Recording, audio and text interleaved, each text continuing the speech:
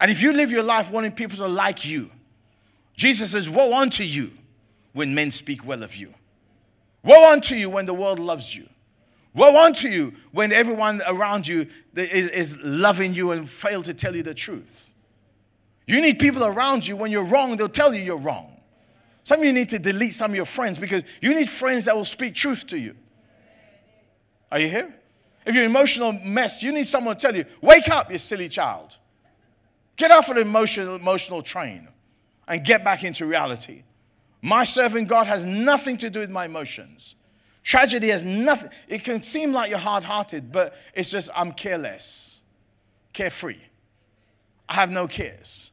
Because you know, my stressing over what happened there ain't going to change nothing. I can pray. I can pray. Prayer will change things. But that needs faith in God. Could you say amen?